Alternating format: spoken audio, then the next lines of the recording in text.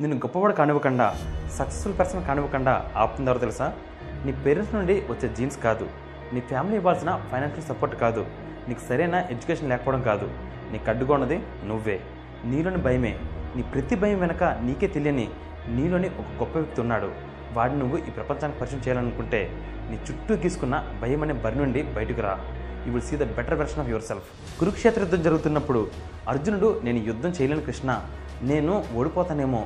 నా సొంత వాళ్ళని చంపాల్సి వస్తుందేమో అని భయం వేస్తుంది అని అన్నాడు. అప్పుడు కృష్ణుడు ఏమన్నాడో తెలుసా? అర్జున నువ్వు యుద్ధంలో గెలిస్తే నీ రాజ్యం నీకు వస్తుంది.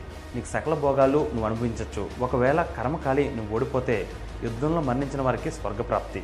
స్వర్గంలో ఇంతకన్నా ఎక్కువ భోగాలు ఉంటాయి. సో యుద్ధంలో గెలిచినా ఓడిపోయినా భోగమే అని అన్నాడు. అదే నేనైతే ఏమంటాను తెలుసా? గెలిస్తే విజయం వస్తుంది. ఓడిపోతే అనుభవం వస్తుంది. విధంగా సబ్స్క్రైబ్ చేసుకోండి. దాని పక్కనే ఒక గంట సింబల్ ఉంటుంది. దాన్ని కూడా క్లిక్ చేయండి. నేను కొత్త వీడియో పెట్టిన వెంటనే మీకు నోటిఫికేషన్ వచ్చేస్తుంది. ఆచ